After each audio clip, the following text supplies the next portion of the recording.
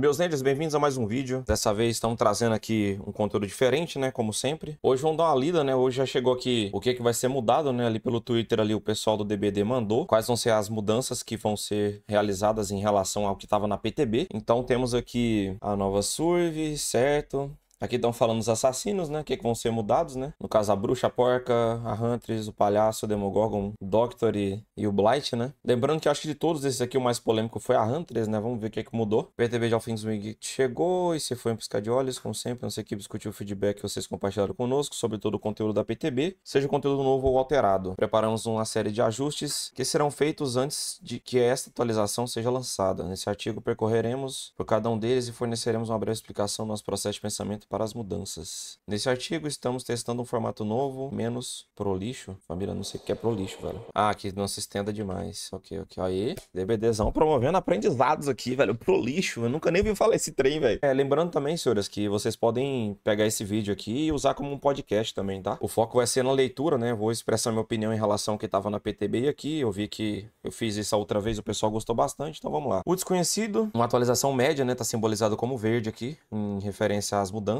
Novo, a duração do enfraquecido agora aumenta em 6 segundos quando um sobrevivente é ferido pelo VDX. Assim, então quando ele jogar aquela gosma dele que faz aquela área de efeito, a... vai, ser, vai ter uma duração maior desse enfraquecido agora no caso. Aí teve uma alteração, aumentamos o efeito de lentidão ao encostar no VDX antes da detonação. Aí agora colocou de 3 para 6%, perfeito. A lentidão, cara, eu achei esse efeito muito estranho. Que tipo, todo mundo ali naquelas play com o personagem tava focando em fazer aquela, aquela bolha estourar no cara para dar hit no cara, né? Você não vai focar dar uma lentidão, porque a lentidão era um meme. Porque o próprio boneco para jogar o VDX, ele já tinha uma lentidãozinha, né? Na minha impressão, eu não tenho certeza. Então agora talvez que essa lentidão deu uma leve melhorada, né? E a, apesar de que eu ainda acho que a mudança foi pouca. Eu acho que, não sei, mano. Tipo assim, em relação ao personagem como um todo, né? A gente não sabe exatamente qual que é o posicionamento de, de tier rank que o Abheaver quer posicionar ele, mas aparentemente ele vai ficar ali pelo B+, mano. Mas o que nos resta é ver, né? Quando dá uma masterizada no boneco pra saber se ele vai estar tá por lá mesmo. Então vai ser um personagem assim que vai ter seus piques em partida, mas não vai ser nada tão frequente. Alteração, aumentamos para 60 segundos a duração da cegueira do complemento máscara caseira. Ah, isso aqui é do Adam. É bom, mas isso aí é com o tempo que a gente vai notar se vai dar muita diferença. Nota dos desenvolvedores. O efeito de fraqueza era um pouco fácil demais de ser removido durante a PTB, o que significava que o assassino muitas vezes teria que acertar um sobrevivente saudável com VDX quatro vezes para derrubá-lo. Ao aumentar a duração de, enfraqueci... de enfraquecido, quando o sobrevivente atingido por uma explosão, assassinos bons de mira precisarão de um tiro menos, de um tiro a menos para derrubar o sobrevivente. Também aumentamos o efeito de lentidão para tentar deixar mais eficiente acertar, acertar o VDX diretamente sobrevivente antes da detonação do VDX. Agora a PIG.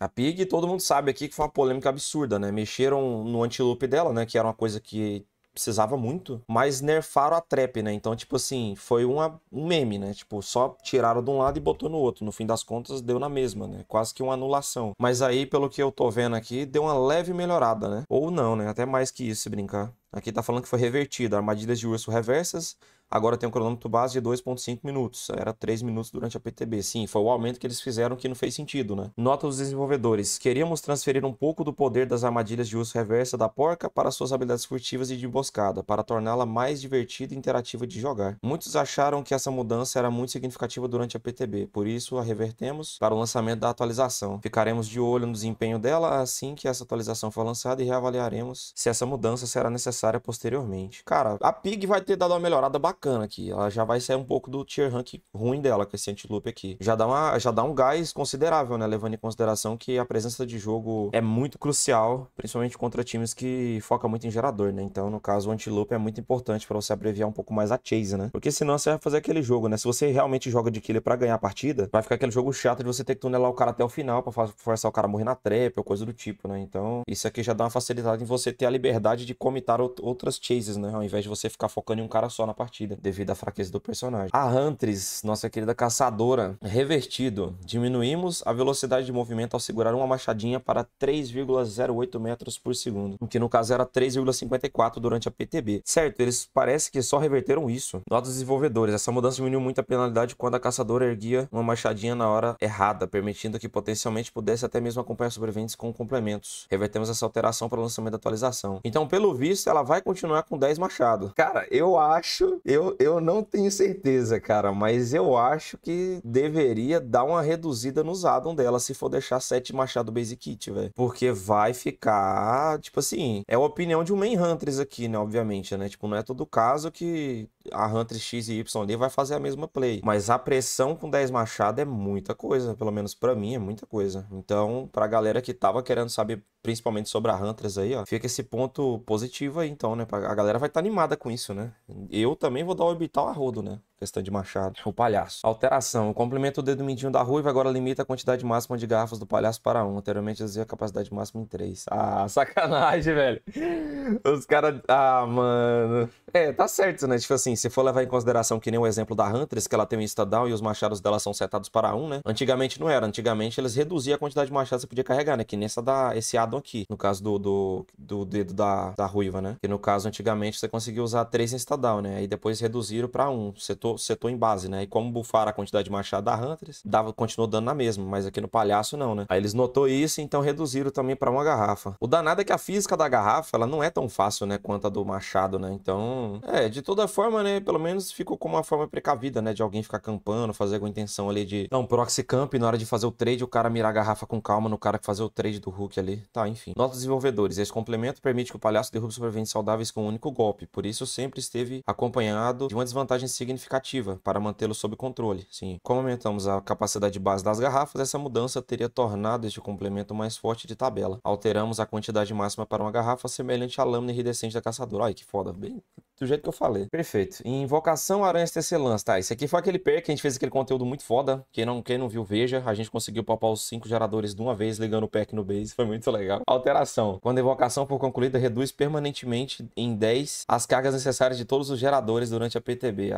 Adicionava 15 cargas de progresso para todos os geradores. Cara, ficou... É, eu, eu sinceramente... Galera, é, eu sei que muita gente dá opinião, assim, de qualquer jeito. É, vamos, vamos sempre procurar entender um pouco mais os dois lados do game pra gente poder opinar de uma forma mais lógica. Do jeito que ela tava, consideravelmente não tava efetivo, porque, tipo, ela perdia muito tempo no base, fazia aquele trem, corria aquele risco todo em estar no base para fazer esse perk funcionar. E a pressão do gerador, simplesmente você dá um rolê nos gens ali durante as X, você dá uma bica em cada um, se os caras não clicar no gen para regredir os 5% ali da bicuda, o, o perk ficaria, tipo, inútil. Agora sim, ficou muito interessante, ficou como se fosse uma peça nova em folha, né, da, da caixa de ferramenta, né, que você usa lá, o ultra raro do Survey. Nota dos desenvolvedores. Este benefício apresenta muitos riscos e exige muito tempo. Se a invocação for interrompida, todo o tempo gasto será perdido, tornando-a pouco atraente em comparação com apenas reparar os geradores normalmente. Para fazer com que a recompensa corresponda ao risco, alteramos o efeito para reduzir permanentemente os reparos necessários em todos os geradores, semelhante ao complemento peça nova em folha. Oh, tá muito massa, velho, que as notas do, do desenvolvedor tá que nem eu falando. Eu tô me sentindo desenvolvedor aqui, família. Que delícia. Tá, ficou bacana, na minha opinião, cara. Eu acho que vai ficar um perk bem justo, assim, comparado ao esforço gasto por estar no base, né? Agora, força nas sombras. Alteração. Velocidade de cura aumentada pra 70%. Era 60% durante a PTB. Tá, é aquela parada de você se curar no base, né? Nota dos desenvolvedores. Na maioria das vezes, demora um bom tempo para chegar ao porão. Antes que você possa se curar com essa vantagem, e também sempre existe o risco de ser pego ferido no porão. Aumentamos ligeiramente a velocidade de cura para torná-la uma escolha escolha mais interessante, mas ainda de nicho, em comparação com outras vantagens de autocura. Ela permite que você cure em cerca de 23 segundos por padrão. Bacana, pô, bacana. Ficou um perk, tipo assim, para quem joga solo, ó, ficou um perkzinho que talvez entre no, no, meta da solo kill, tá? Fica essa dica para quem tá acompanhando aí, que curte um, um, solo kill da vida aí, galera guerreira. Perversidade. Revisado. Suas tentativas de se desenganchar no porão são sempre bem sucedidas. Quando você é desenganchado ou se desengancha por conta própria, você vê a hora do assassino por 16, 18, 20 segundos. Tá, é um perk bem interessante, né?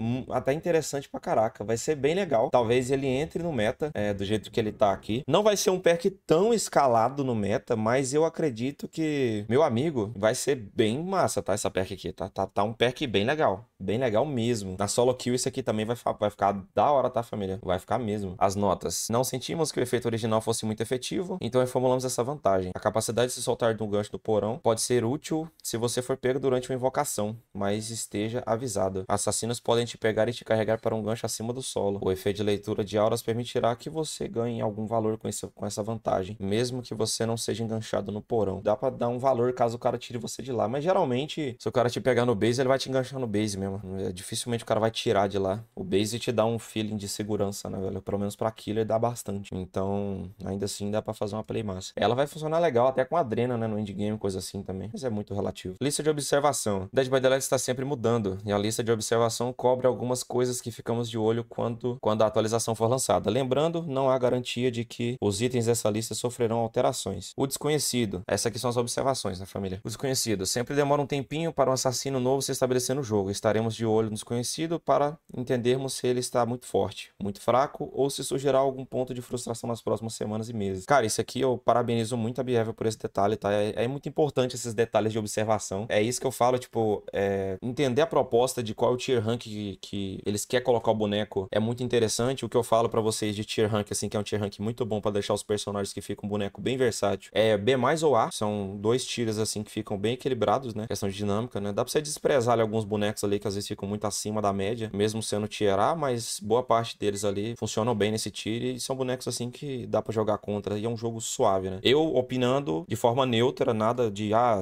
killer side, suicide, não. Tô falando sempre de forma neutra, né? Pra ter lógica, fazer sentido e, e é isso, né, mano? O jogo é um jogo assimétrico. Se você não tiver essa, esse posicionamento de lá e de cá, você vai sempre opinar de uma forma meio que sem fundamento. Um, invocações, né? Sendo uma mecânica totalmente nova, precisaremos de um tempo para ver como as vantagens de invocação se encaixam no jogo. O efeito é forte, mas traz também um risco significativo. Estaremos observando de perto para garantir que essas vantagens fiquem bem balanceadas em termos de força. É interessante, sim. Ela talvez entre no meta, mas ela é situacional, cara. Mas eu acho que ela é possível de entrar em meta. Tem um Instrix se brincar lá entra. A porca, como mencionado anteriormente, fizemos algumas melhorias bastante significativas na emboscada da porca e deixamos a duração da magia de uso refessas intocada por enquanto. Monitoraremos seu desempenho durante o futuro próximo para garantir que essas mudanças não passem do limite e reavaliaremos conforme necessário. Cara, eu queria muito saber que tier rank eles estão querendo atingir com a porca. Porque se manter do jeito que tá agora, no caso ali, que vai vir, né? Que é a trap normal como já tá, mas o anti-loop dela melhor, mano, beleza. Tipo, tá God, pô, não precisa observar nada o boneco é muito ruim, cara. O boneco é muito fraco. A comunidade quase como um todo concorda com isso, tá ligado? Todo mundo ama lupar porca, porque a porca é muito zoada. Ela é muito fraca. Então, acredito que essa mudança vai dar uma melhorada boa para ela. Dar um gás a mais, né? Pra quem conhece meu conteúdo aí, que eu também tô fazendo live aí no YouTube e na Twitch, a partir das 18 horas. É, durante as partidas que eu jogo, os dois complementos que eu tô mais utilizando são os dois complementos para usar o, o anti-loop dela mais efetivo. Não tô usando nada pra trap, tá ligado? Pra vocês verem que eu já tô jogando com buff e basic kit, tá ligado? Tipo, ficou interessante. Um, senhores, é, de, de qualquer forma aí, por favor, deixa a opinião de vocês, tá? Todo mundo que estiver vendo aí, que tiver visto até agora, por favor, considera escrever aí algum feedback em relação a tudo aqui, a opinião de vocês, o que, que vocês estão achando. Use da melhor forma possível a opinião de vocês, de uma forma que faça sentido um, pros dois lados, né? Porque não adianta a gente sempre opinar descendo a lenha num lado só, né? A gente sempre tem que olhar os dois lados, por isso que mesmo sendo main killer, eu consigo entender o lado de serve aqui, eu consigo ter essa tranquilidade. Deixa o like, por favor, se inscreve aí se vocês estão acompanhando e curtindo esse canal, esse conteúdo. Estamos sempre para trazer feedback, novidade, build, maluco e tudo mais. Bem-vindo nessa jossa, eu sou da roça.